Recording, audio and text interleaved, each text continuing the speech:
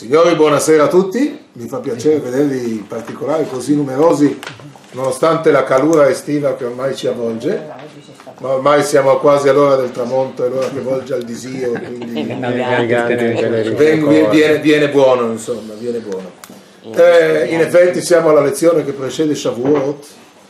E volevo dire proprio due parole, anticipando quella che sarà poi una lezione che se Dio vuole farò giovedì prossimo giovedì prossimo abbiamo il, il, ritmo festivo, quindi non ci troviamo in questa sala, ci sarà il tempio della, della, della, dell'ultimo giorno di Shavuot alle 6, dopodiché leggeremo la Megillah di Ruth e al termine della Megillah di Ruth farò una piccola lezione commento sul, su questo argomento.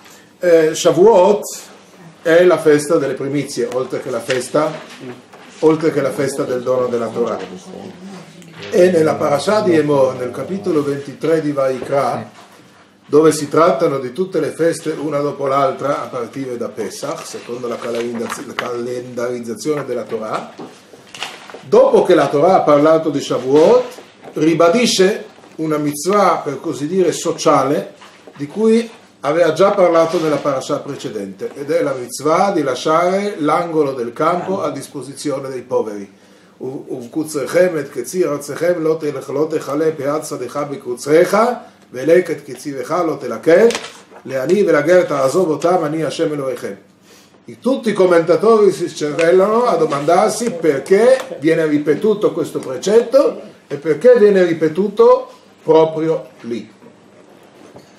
Qual è il significato di lasciare l'angolo del campo? Interpretandolo alla luce dell'insegnamento di Rav Soloveitchik, vi ricordate la questione dei due Adamo? Cosa vengono ad insegnarci questi comandamenti, fra virgolette, sociali? Non semplicemente un ordine sociale, ma anche un ordine pedagogico per noi stessi. In che senso?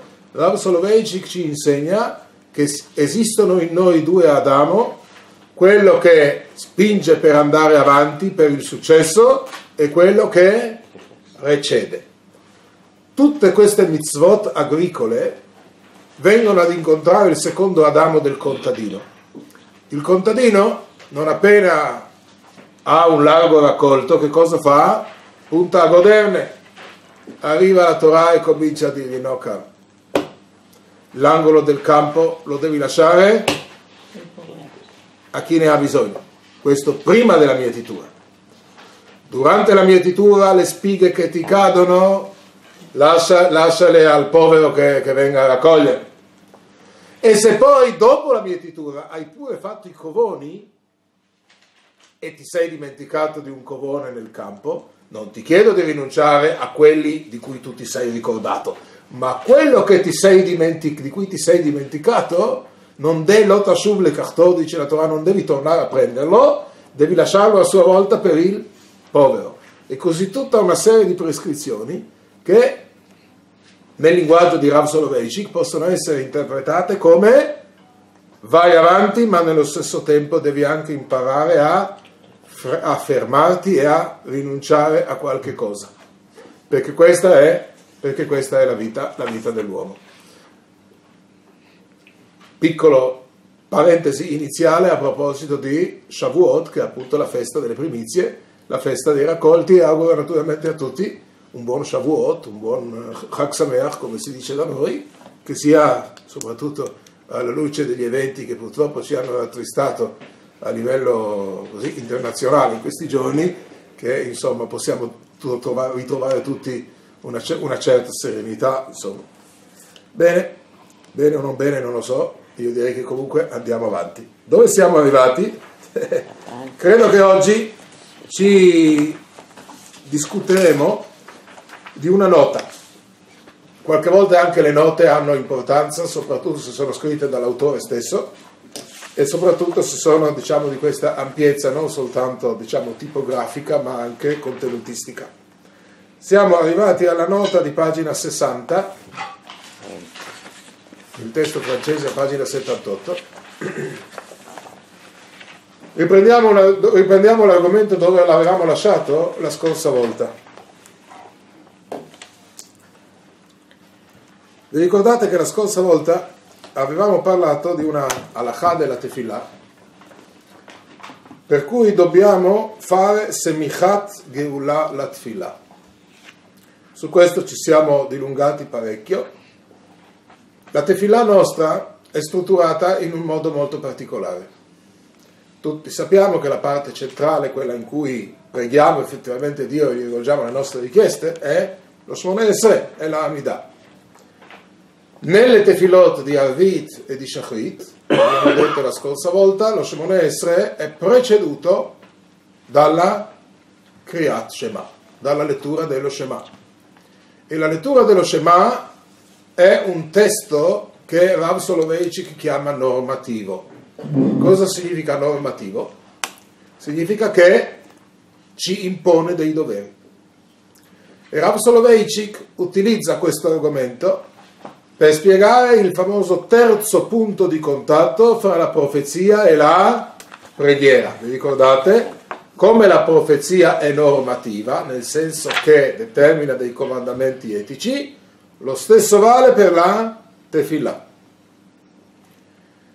L'ultima parte della, della, della, dello Shema, l'ultimo versetto, fra i vari comandamenti che troviamo nello Shema, vi ricordate?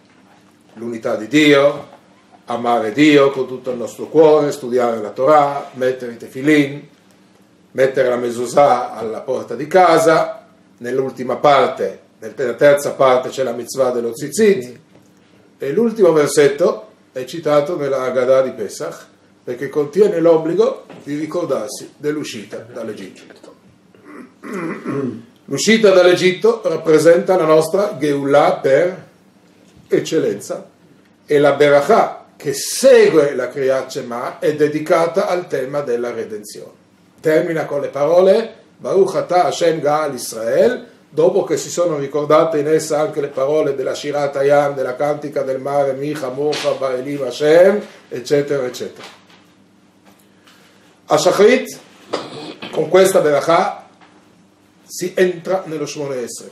Abbiamo detto la scorsa volta che ad Arvit la situazione è un pochino più complicata perché c'è una Berachà in più che è Ashkivenu, in cui ringraziamo Dio della possibilità che ci dà di riposare durante la notte, dopodiché si dice in quel caso il Kaddish perché c'è stato comunque questo stacco, c'è stata questa separazione. In ogni caso, la nostra tefillah è strutturata, come dicono i Talmud, il, come dice il Talmud, nel senso che prima di pregare dobbiamo ricordare la redenzione. A Shachrit in un modo, ad Arvit in un modo un filo diverso, più ampliato, come abbiamo detto, ma in ogni caso questo discorso c'è. Ed è su questo che Rav Soloveitchik ci intrattiene a proposito appunto della normatività della, della tefillah, perché il ricordo della redenzione è a sua volta una norma che dobbiamo, che dobbiamo seguire. Prima di leggere la nota di Rav Soloveitchik, però vi propongo di studiare poche righe di un passo della Gemara in Berachot, di cui ho reperito una vecchia traduzione italiana, quindi non dobbiamo ricorrere ai testi in aramaico, eccetera, eccetera, a proposito di questo argomento. Perché? Perché questo passo è citato da Rav Soloveitchik nella sua, nella sua nota. La domanda è, tutti in linea di massima sono d'accordo, che la tefillah di Shachrit è strutturata, Kriyat con le sue berachot e seguita dallo Shmoneh Esre. Per quanto riguarda la tefillah di Arvit, quello che vi ho raccontato fino adesso è la halakha definitiva, ma il Talmud ci dà lo stadio anteriore, e cioè ci riporta una controversia in materia. Delle due opinioni della controversia, la halakha ne sceglierà una e capirete immediatamente quale. Il testo è nella colonna di sinistra, a pagina eh, 80 credo che sia, Berachot 4b, bene, il, il, foglio 4 nel, nel, nel retro, a circa metà della pagina della colonna che avete sotto gli occhi. La Gemara riporta una fonte citata anteriormente in modo anonimo per ridiscuterla a questo punto. Lì si tratta del caso di una persona che è tornata dalla campagna, non ha importanza, il maestro disse, l'uomo che è tornato dalla campagna, reciti lo ascolta, cioè lo Shema, e la preghiera, cioè la Amidah. Che cosa sostiene in sostanza questo maestro? Che anche ad Arvit, da dove capite che stiamo parlando di Arvit? Dal fatto che si parla di un uomo che è tornato dalla campagna alla fine del suo lavoro nei campi, evidentemente, e anche in questo caso come a Shachrit, Secondo questo maestro gli viene richiesto di dire lo Shema e poi la Amidah. Commenta la Gemara e dice il che è un appoggio per l'opinione di Rabbi Yochanan, il quale diceva chi parteciperà al mondo venturo? Risposta chi avvicina la preghiera per la redenzione, cioè la Geulah, alla preghiera serale. E la nota 60 dice la preghiera per la liberazione degli ebrei dall'Egitto, avvenimento che costituisce la redenzione di Israele, che nella liturgia viene inserita tra lo ascolta, tra lo Shema e la preghiera, cioè la Amidah. D'accordo? Da cosa si vede che eh, quanto dice il maestro è in appoggio a Rabbi Yochanan?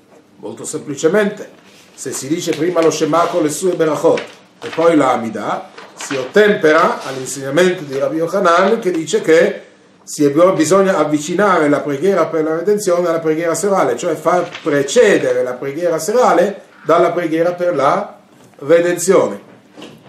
Rabbi Yoshua ben Levi invece pensa che va fatta un'analogia tra il coricarsi e l'alzarsi di cui si parla nello ascolta. Nello Shema è scritto Beshochbecha uvkumecha. Prima è indicato il verbo coricarsi e poi è indicato il verbo alzarsi. Commenta il Talmud e dice, come all'atto dell'alzarsi, lo Shema si recita vicino al letto, cioè appena alzati, così anche di sera lo Shema va posto in nesso col letto. E perciò, secondo Rabbi Yoshua Bellevi, lo Shema va recitato dopo la preghiera serale. In pratica, secondo Rabbi Yochanan, sia a Shachrit che ad Arvit si deve dire Shema Amidah, Shema Amidah. Rabbi Yoshua Ben Levi invece richiede un'impostazione della giornata chiastica. Al mattino si dice Shema e Amidah e la sera si dice, secondo lui, Amidah e Shema. Perché? perché lo Shema deve essere come al mattino. Lo Shema viene recitato rispetto alla Amidah nella posizione più vicina a quando stavamo a letto, secondo la sua opinione, la sera si deve fare lo stesso, recitare comunque lo Shema il più vicino possibile al momento in cui ci corichiamo e quindi dopo la Amidah. Secondo la Yoshua Ben si, si come si dice, si trascura completamente l'idea di far precedere la Geula alla Tefillah, perché per lui lo Shema con le sue Berachot va recitato addirittura dopo la, dopo la Amidah. Quindi secondo lui l'ordine è Shema, Amidah, Amidah, Shema. Come viene stabilita la halakha? No, la halakha viene stabilita secondo Rabbi Yochanan non ci curiamo dell'interpretazione dei versetti che dà Rabbi, Rabbi eh, Yoshua Ben Levi, secondo cui i due Shema vanno recitati entrambi il più possibile vicino al letto, cioè vicino al, al, al nostro stare a letto, ma anche ad David come a Shachrit lo Shema precede l'Amida in modo tale che la Geulah, il concetto di redenzione, preceda quello di preghiera, quello di tefillah. È chiaro? E questo da un punto di vista, dal punto di vista di Rav Soloveitchik, come vedremo, ha un significato molto, molto, molto impegnativo, molto forte. Eh, tenete fra l'altro conto, aggiungo un, un'ulteriore considerazione, che Arvit è una molto, è una, è una situazione molto particolare, perché è una situazione molto particolare. Bu, L'Arvit si dice, si dice con il buio.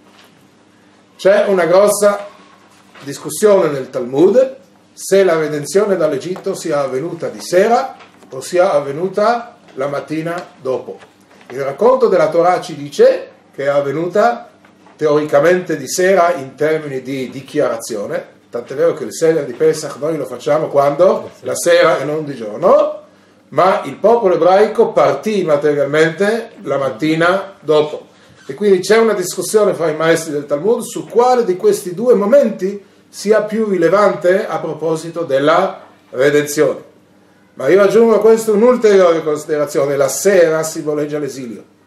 E quindi, se la halakha è secondo Rabbi Yochanan, per cui anche lo Shema della sera deve precedere l'Amidà e non seguirlo, in maniera tale da ottemperare all'obbligo di mettere la Geulah prima della Tefillah, quanto è forte questo insegnamento la sera, ancora più che la mattina, per il fatto che la sera simboleggia l'esilio. E in esilio noi ricordiamo la Geulah con maggiore, in un certo senso con maggiore forza.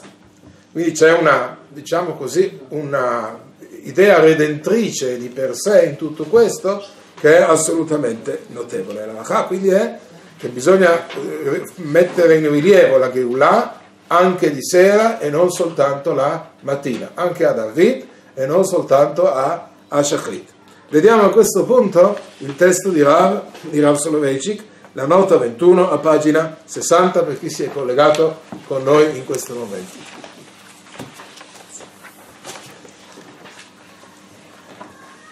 Il fatto che la halakha richieda la semichat geulà la ossia che la recitazione dello Shema con le benedizioni che lo introducono e che lo seguono debba essere unita alla recitazione della tefillah, le 18 benedizioni, è indicativo a tale proposito, a quale proposito? A proposito dell'affermazione che faceva nel corpo del testo, per cui la preghiera non consiste solo nella consapevolezza della presenza di Dio, ma anche in un atto di affidamento di se stessi a Dio e di accettazione della sua autorità morale.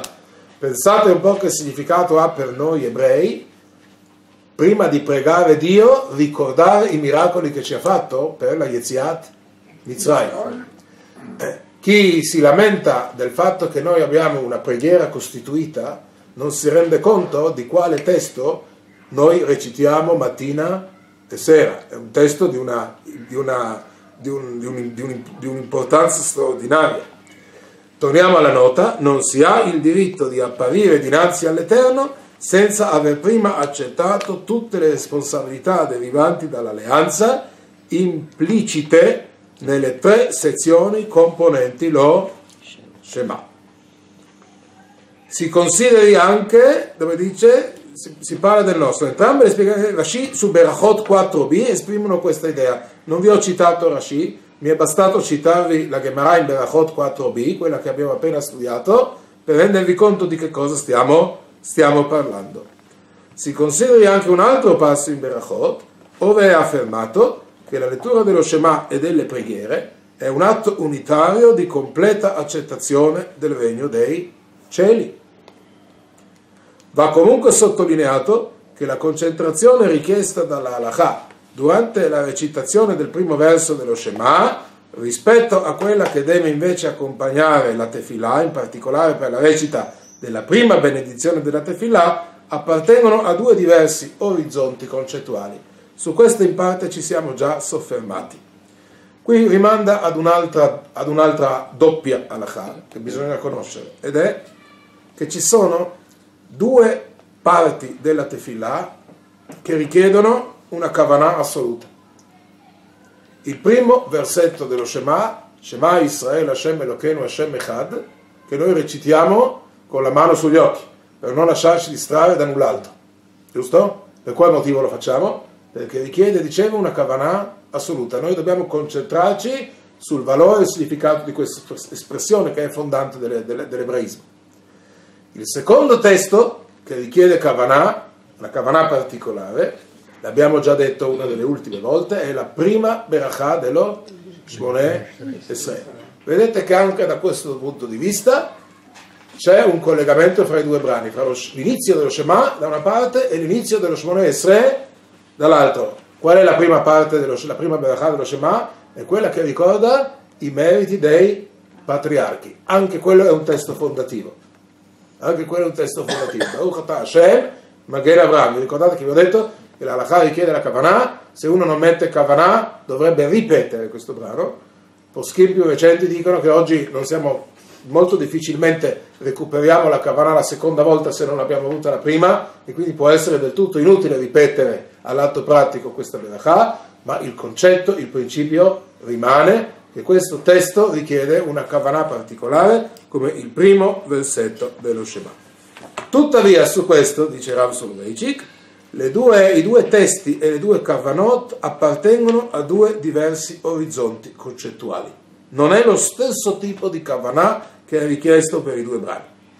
Nel primo caso, cioè quello del primo pasuk dello Shema, Shema Israele, Hashem Elokeinu, Hashem Echad, l'essere umano, scrive, avverte idealmente di essere totalmente impegnato con Dio e la sua coscienza è così rivolta a un fine normativo, il discorso della normatività che facevamo prima, che assegna cioè all'uomo legittimità e valori ontologici in quanto creatura etica a cui Dio ha affidato una grande missione, consapevole della propria libertà sia di far naufragare sia di aver successo in questa impresa. Insomma, quando noi recitiamo il primo pasuk dello Shema, ci rendiamo conto in quel momento, siamo compresi non soltanto dell'esistenza di Dio, ma di tutto quello che implica per noi in termini di doveri morali, che poi se noi siamo liberi di accettare o non accettare certo, entro certi limiti, però in quel momento emerge tutta la figura morale dell'uomo. Nel secondo caso, invece, quello della prima berachà della Amidah, la consapevolezza che si accompagna alla preghiera è radicata nell'esperienza da parte dell'essere umano della propria creaturalità, per impiegare un termine coniato da Rudolf, da Rudolf Otto, e dell'assurdità di cui è intrisa la propria esistenza.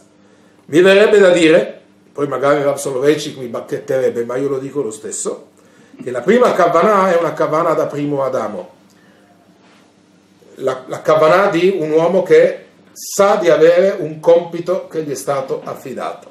La seconda Kavanah, quella della Amidah, è la Kavanah di, dell'uomo che è consapevole, scrive qui, dell'assurdità di cui è intrisa la propria esistenza, cioè del, del secondo Adamo che ha bisogno di un Dio che lo sostiene. Shema Israel è Dio che ci comanda. La prima berachà dell'Amidah in cui ricordiamo l'azione di Dio a sostegno dei patriarchi è il Dio che ci aiuta, questo è il senso.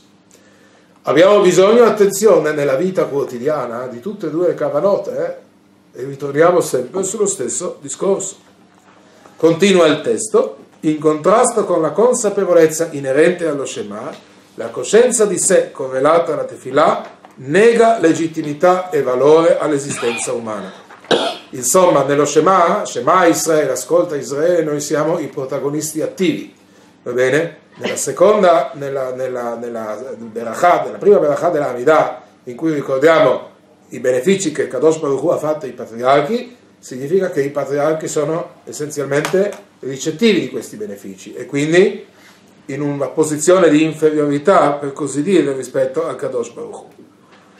L'essere umano, in questo caso servo di Dio, è completamente da lui dipendente e non gode di alcuna libertà. Come è scritto nel Salmo 123, ecco come gli occhi dei servitori sono rivolti verso la mano dei loro padroni, come gli occhi di una serva alla mano della sua padrona, così i nostri occhi sono rivolti all'Eterno nostro Signore, finché Egli non sarà benevolente nei nostri confronti. È chiaro fin qui? Abbiamo quindi, Soloveitchik ci ha spiegato in questa nota, in maniera estremamente brillante, eh, il valore etico della, della, della preghiera. Il, lo Shema in quanto ci ricorda i nostri doveri verso Dio e la Tefillah in quanto noi ci mettiamo, la Amidah in quanto noi ci mettiamo in una posizione subalterna nel rivolgere a Dio quelle che sono le nostre richieste. Attenzione, abbiamo studiato nel Talmud, e questa è la halakha sia per Shachrit che per Arvit, non possiamo aver detto, dire lo Shemone Esre, se prima non diciamo lo Shema. La preghiera di richiesta non è una preghiera così spot qualsiasi, è una preghiera che è radicata nella consapevolezza del nostro rapporto etico-normativo con il Dio al quale ci rivolgiamo. E questa è una caratteristica della preghiera ebraica e del rapporto ebraico con Dio. Aggiunge qui Rav Soloveitchik, quando il Talmud parla di Kabbalat Malchut Shamaim Shelema, ossia di integrale accettazione della sovranità di Dio, fa riferimento a entrambe queste consapevolezze. Si parla di Kabbalat, Malchut, di Kabbalat Ol Malchut Shamaim Tukur a proposito dello Shema, ma in quei passi in cui aggiunge la parola Shelema, che significa completa, integrale, allude sia allo Shema che alla Amidah, cioè consapevolezza dei nostri doveri da un lato e consapevolezza della nostra piccolezza dall'altro. Consapevolezze che pur essendo antitetiche addivengono a un'unica integrata coscienza dell'essere umano, tanto prigioniero di Dio che suo libero messo. Tuttavia, se la consapevolezza necessaria per la preghiera sia per sé strutturata in una prospettiva alachica in quanto Kabbalah Malchut ossia in quanto atto di accettazione del regno del cielo, è discusso in un altro passo e di questo non ci occupiamo. Quello che conta qui è l'idea di che entrambe queste consapevolezze sono necessarie per addivenire a una relazione con Kadosh Baruch. Kadosh Baruch si relaziona a noi innanzitutto per quelli che sono i nostri, i nostri doveri, e a quel punto lì noi possiamo effettivamente rivolgere a lui le nostre richieste consapevoli parallelamente della nostra sub- subalternità rispetto, rispetto a lui. Andiamo avanti con il testo, pagina 61, dopodiché ci soffermeremo anche sulla nota 22. Chi è qualificato per impegnare Dio nel colloquio della preghiera? Chiaramente la persona pronta a purificare se stessa dall'imperfezione e dal male. Ecco il valore etico della preghiera ebraica. Qualsiasi genere di ingiustizia, corruzione, crudeltà o simili profana l'essenza stessa dell'avventura della preghiera, dal momento che tutto ciò imprigiona l'uomo in un mondo vile e angusto, dentro al quale Dio è riluttante a entrare. Molto bello questo. Se, se, vogliamo che la nostra preghiera sia accettata, se vogliamo, diciamo così, essere accolti da Kadosh Baruch Hu, dobbiamo fare un minimo di sforzo e saperci elevare, non dico al suo livello, ma verso il suo livello, eliminando cioè tutte le nostre magagne, chiamiamole così in, un, in un termine un po' brutale, cioè le ingiustizie, la corruzione, la crudeltà. Tutto questo profana l'essenza stessa, dice, dell'avventura della preghiera. I nostri maestri insistono molto sul fatto che non si può andare a purificarsi nel mikveh tenendo in mano la fonte dell'impurità. Il rettile, come è chiamato nella Torah, Tovel Asheretz Beyadò, non è ammissibile una cosa di questo genere. Allo stesso modo non è, non è ammissibile la preghiera se noi non ci troviamo nelle condizioni ottimali dal punto di vista morale per poterla rivolgere. Torno al testo. Se l'essere umano brama l'incontro con Dio nella preghiera, allora egli deve purgarsi da tutto ciò che lo separa da Dio. La halakha non ha mai considerato la preghiera come un gesto magico e separato, pensate un po', a cui l'essere umano può dedicarsi senza tuttavia integrarlo nel suo complessivo stile di vita. No, la preghiera è parte di noi, integrante di noi stessi. Dio porge orecchio alla preghiera se essa si innalza da un cuore contrito al di sopra di una vita difettosa e disordinata e se si diparte da un intelletto risoluto a redimere questa vita. Insomma, la preghiera ha senso solo se è preceduta da una vita morale intensa. In breve, solo la preghi- persona gravata da responsabilità è legittimata a pregare e a incontrare Dio. La preghiera è sempre annunziatrice di una riforma morale. Molto forti queste, queste, queste, queste eh? Molto forti queste parole, anche molto, molto, molto elevate. Forse questa è una delle ragioni per cui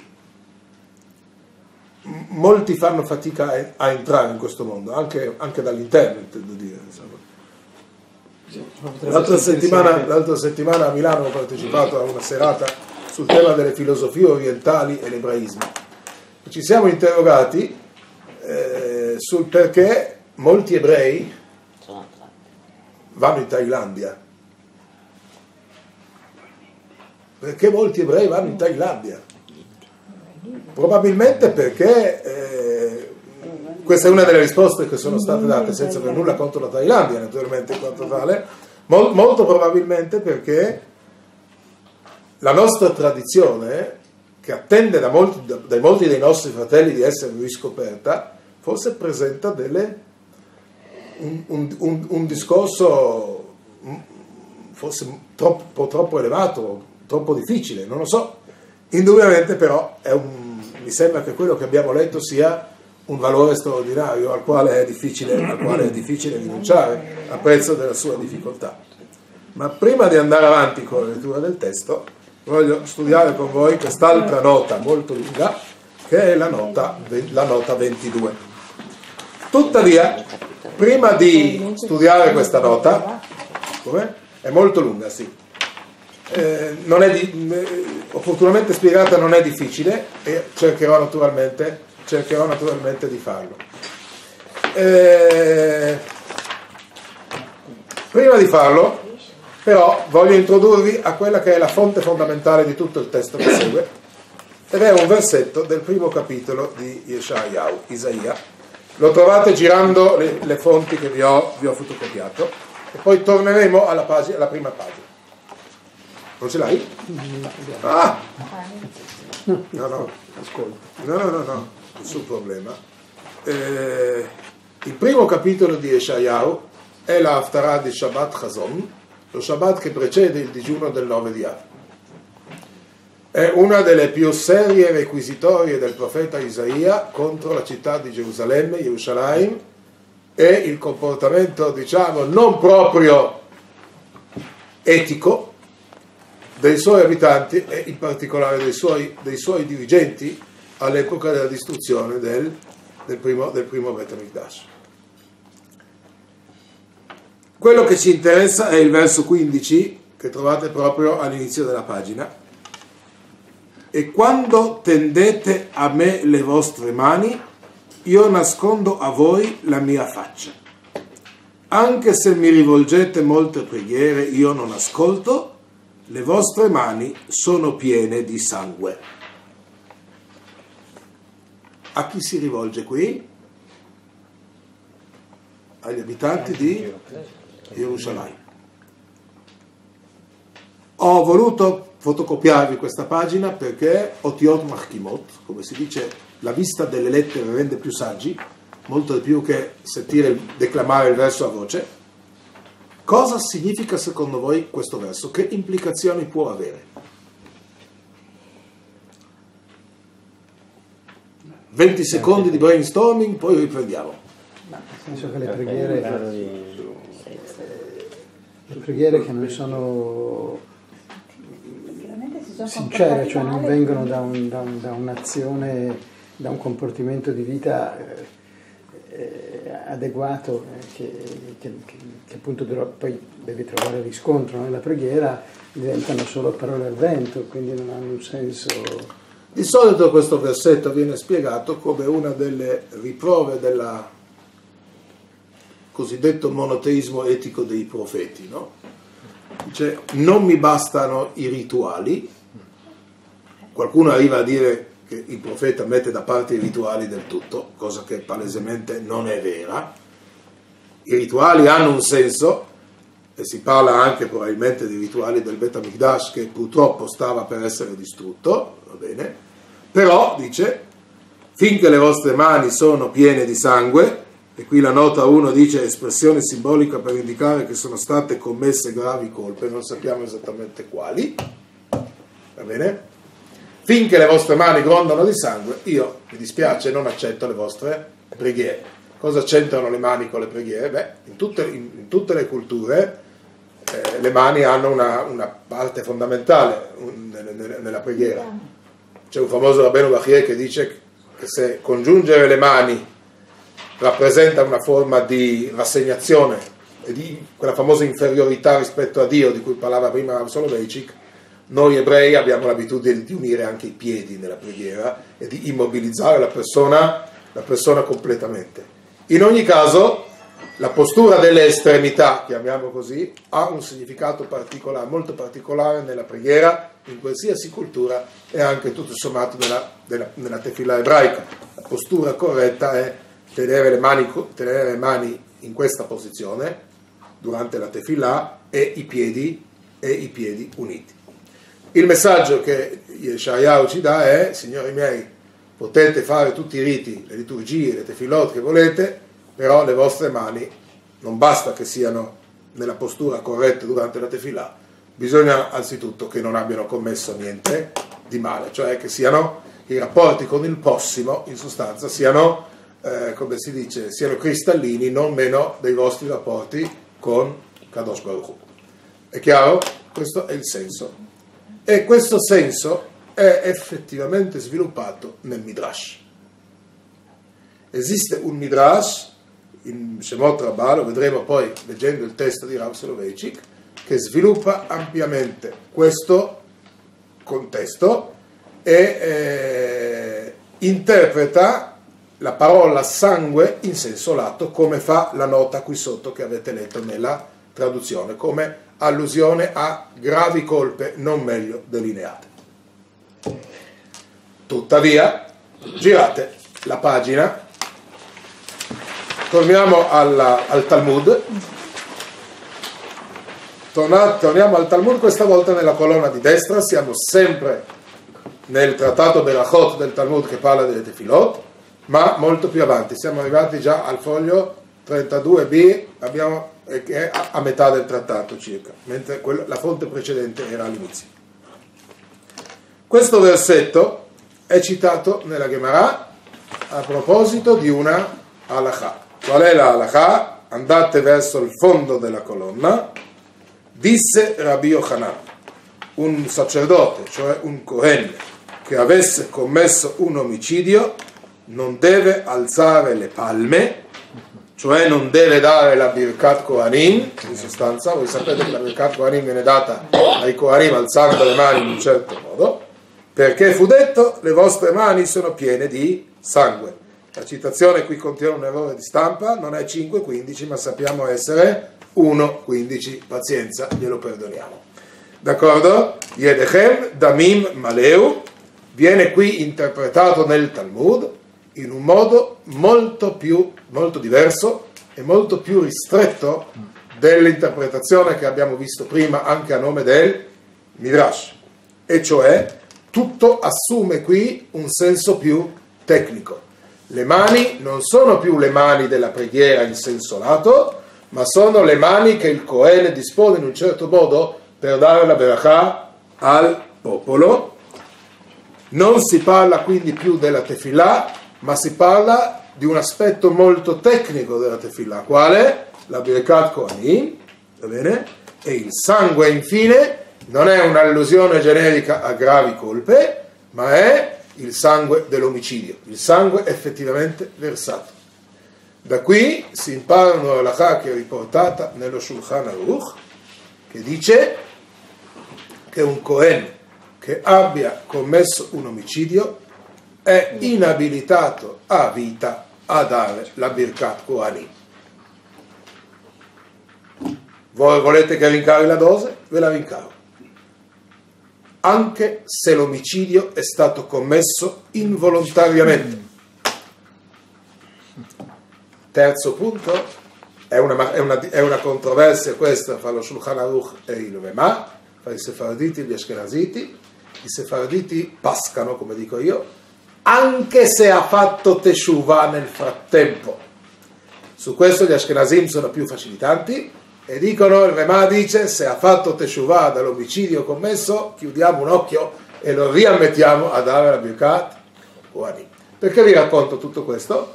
Per farvi capire la differenza fra Halakha e Midrash.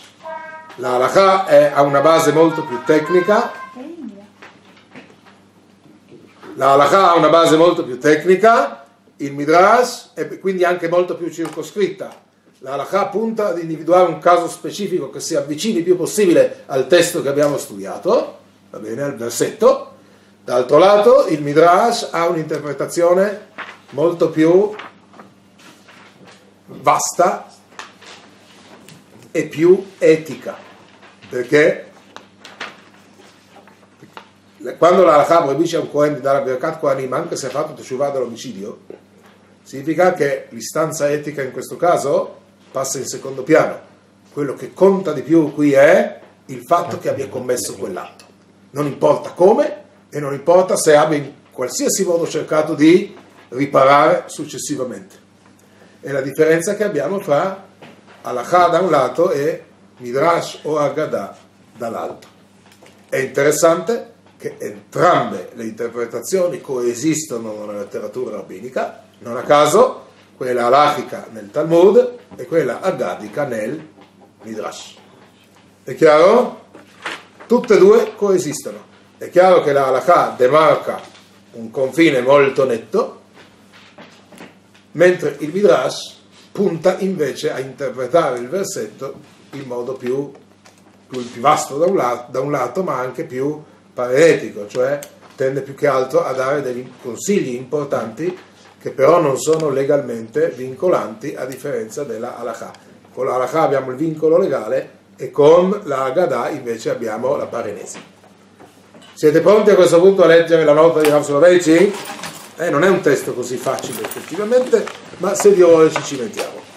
E ci cementiamo anche. L'interrelazione tra preghiera, vita morale e pentimento, dice Rav Soloveitch all'inizio della nota 22, a pagina 61, venne già sottolineata nella preghiera di Salomone, questo è un testo che non vi ho riportato, una preghiera bellissima che il re Shalomò rivolse a Dio il giorno dell'inaugurazione del, del, del, del, del, del, in cui dice che appunto quando gli ebrei ehm, commetteranno delle colpe e faranno teshuvah potranno venire a pregare attraverso questo tempio.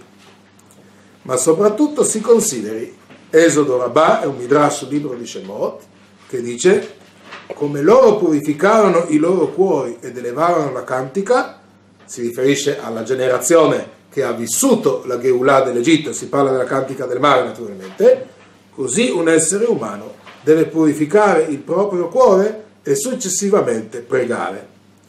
Questo è quanto ebbe a dire Giobbe, anche se non vi è violenza nelle mie mani e la mia preghiera è pura. Rabbi Yoshua Cohen, figlio di Rabbi Nehemiah, disse, vi sarebbe quindi una preghiera impura? Punto di domanda, la risposta è no. Tuttavia, colui che si rivolge a Dio in preghiera con le mani insozzate dalla violenza non è ascoltato. E Rabbi Hamah ben Hanina disse, da dove deriviamo che la preghiera di chi ha commesso violenze sia impura? Dal fatto che sia affermato, guardate dove, Isaia 1,15, che quando innalzerete le vostre mani io non presterò ascolto perché le vostre mani sono piene di sangue. Qui abbiamo l'interpretazione etica del versetto, non quella alachica. E da dove deriviamo invece che è pura la preghiera di chi abbandona la violenza, eccetera, eccetera. E anche Maimonide, soffermandosi in relazione al precetto della preghiera durante periodi di difficoltà, in maniera inequivocabile afferma che la preghiera è l'unico strumento attraverso cui l'essere umano può normalmente riabilitare se stesso, anche se in relazione alla preghiera quotidiana egli non fa espressa menzione di questo particolare rapporto. E qui eh, il eh, Rav Soloveitchik arriva al punto e dice è degno di nota che vi sia una duplice discrepanza fra il Talmud in Berachot 32 e il succitato Midrash. Il Talmud, infatti, come abbiamo visto anche noi prima, restringe l'interpretazione del verso di Isaia 1.15 al peccato di omicidio, nel senso che rende inidoneo il Cohen a impartire la benedizione di Dio al popolo di Israele. Il Midrash invece ne estende il significato e la rilevanza a tutti i generi di violenza, per esempio l'appropriazione indebita e altre pratiche corrotte, escludendo non solo il Cohen dal poter impartire la benedizione sacerdotale, ma tutto il popolo dalla preghiera.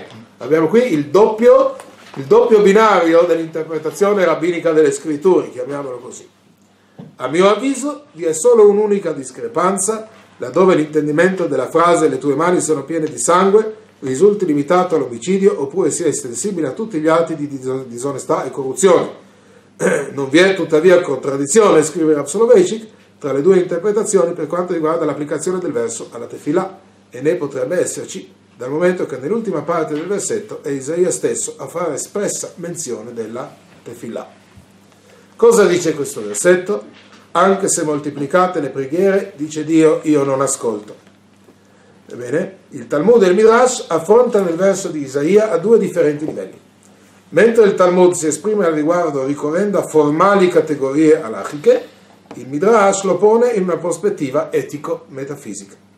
Il Talmud tratta la problematicità dell'invalidità del Kohen, dal momento che quest'ultimo, nel caso abbia ucciso, perde la prerogativa e il diritto dei sacerdoti di benedire il popolo ebraico. Ricorrendo a termini alachici, direi che l'omicidio rientra nell'insorgenza di una inadeguatezza personale, cioè qualcosa che inabilita la persona total, in, in, in, modo totale e definitivo. E infatti, secondo Maimonide, la non idoneità consegue non tanto dalla colpa morale derivante dal peccato di omicidio, bensì dal mero fatto di essere stato agente e strumento di omicidio.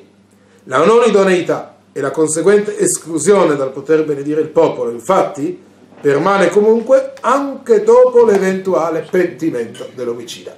Questa è la valenza alachica del Pasuk.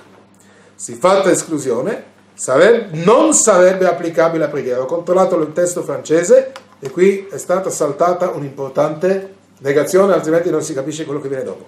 Ripeto, si fatta esclusione non sarebbe applicabile alla preghiera. Il privilegio e il diritto di pregare non può essere negato a chi che sia. Si può dire a un Cohen per favore si accomodi al suo posto perché lei non è degno di dare la berachà al popolo, ovviamente non con questi termini, insomma, si trova il modo di farglielo capire, però la cosa è ammissibile, d'accordo? Molto diverso è dire a un ebreo per molto meno non puoi pregare, questo non possiamo evidentemente farlo, questa è la differenza tra Alakha e Agadah eh, il privilegio e il diritto di pregare non può essere negato a chi che sia, nemmeno alla persona più empia. Il salmista afferma infatti che chiunque è ammesso nel mondo della preghiera, il Salmo 65 dice Shomea tefillah adech col basar yavou, è il versetto con cui nel rito italiano si aprono le selichot, o tu che porgi orecchio alla preghiera, a te verrà ogni vivente. Il Midrash infatti non ha mai sostenuto che il peccatore sia stato deprivato del privilegio di poter pregare, si è piuttosto voluto rimarcare che la preghiera richiede un cuore puro e che la preghiera di un essere umano che continua a peccare è imperfetta. Noi questo lo dobbiamo ribadire, ma non fino al punto di prendere la decisione tagliente di dire a questa persona tu non puoi pregare, a differenza del Cohen. Il Midrash ricorre alle espressioni tefillah zakka e tefillah ahura, cioè tefillah pura e tefillah eh, torbida, che denotano rispettivamente la preghiera pura e quella impura. Ahura eh, significa letteralmente torbida, cioè qualcosa che non permette di vedere attraverso. Maimonide cita questo Midrash, attenzione dice, non Maimonide nella sua opera lachica, cita questo Midrash non nella sezione sulla, delle, sulla preghiera e, e, della sua opera di codificazione rituale, perché non è una vera e propria tefil, halakha per quanto riguarda la tefillah, bensì nella sezione sulla teshuvah, il ritorno a Dio, concernente gli aspetti sia metafisici sia normativi del pentimento, dove egli afferma chiaramente che la preghiera di una persona immorale non è pienamente accettata da Dio.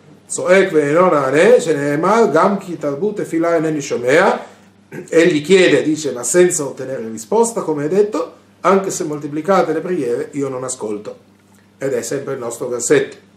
Maimonide di fatto estende il requisito dell'eccellenza morale per l'esecuzione di tutte le mitzvot, ehm, nel senso che ose mitzvot torfino otobe fanar, se la persona, otarme fanar, se la persona non è sufficientemente degna, colui che esegue le mitzvot gli vengono non attribuiti a merito, però attenzione, questo non significa che siamo esentati da compiere le mitzvot, qui si tratta di parenesi. Eh, naturalmente è ovvio, scrive, che le imperfezioni nel concretizzarsi di un'azione non annullano del tutto il compiersi dell'azione medesima, è ovvio questo. L'affermazione di Maimonide in conclusione al suo trattato sulla tefilà, secondo cui non devi impedire all'empio di compiere azioni buone, è rilevante sia nella prospettiva della halakha che in quella psicologica. Noi, noi permettiamo infatti anche al Cohen peccatore sin tanto che non si è macchiato di omicidio o di apostasia, di impartire all'assemblea riunita la benedizione. Nel caso del Cohen quindi ci sono delle delimitazioni alachiche molto determinate e una volta che il Cohen ricorre in queste eh, categorie alachiche molto determinate, la halakha dice che questo signore non può più dare la Birkat Kohanim. Molto diverso è l'atteggiamento che invece il Midrash e la Haggadah danno nei, nei confronti di un qualsiasi ebreo peccatore di qualsiasi tipo, la cui preghiera non è mai negata, evidentemente. Si può sostenere che non verrà accettata al 100%, si può argomentare questo, ma non è questo motivo sufficiente per dirgli di non pregare. Noi permettiamo infatti, dice al Cohen peccatore, sin tanto che non sia macchiato di omicidio, di apostasia, di impartire all'assemblea riunita la benedizione, parimenti incoraggiamo il peccatore a pregare, anche se non è pronto per pentirsi e per rigenerarsi moralmente, in quanto l'esecuzione di ogni singola mitzvah, sia questa la preghiera o un altro atto morale, possiede un effetto purificante per l'esecutore della stessa, potenzialmente influenzando nell'esistenza, sin da innescare una completa metamorfosi della sua personalità. Un conto è quindi la halakha per quanto riguarda la Birkat Kohanim eh, impartita da un, da un omicida o da un idolatra, un conto è eh, impedire a un peccatore di compiere la buona azione di pregare, che è comunque una buona azione, perché come abbiamo visto altre volte, la preghiera non si riflette soltanto sulla divinità, ma si riflette anche sul soggetto che la eleva. E quindi anche se questa persona non ha ancora fatto teshuvah completa delle sue malefatte, c'è pur sempre la possibilità che proprio la preghiera lo aiuti in questo senso e che arrivi a fare teshuvah in un secondo momento. Credo che per oggi ci, ci, ci, ci fermiamo qui, mi sembra che abbiamo messo effettivamente molta carne al fuoco. Qual è il senso che, della, dei testi che abbiamo letto oggi? Il valore normativo della, della preghiera ebraica e abbiamo visto d'altronde anche quali sono le, i confini fra halakha vera e propria e, e Haggadah. Penso che sia molto, anche dal punto di vista metodologico, molto utile in questo senso.